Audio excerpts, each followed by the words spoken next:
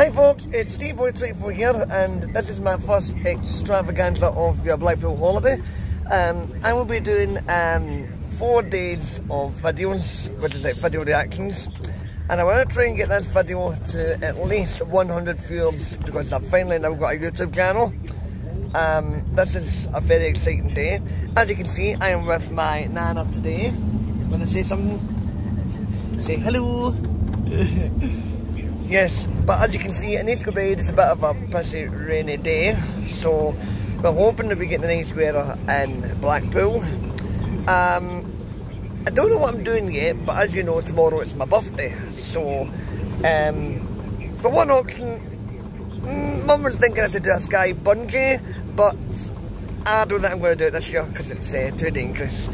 So I'm going to end the video now, and I'm going to do part two when we get to the hotel, and I'll see you in the next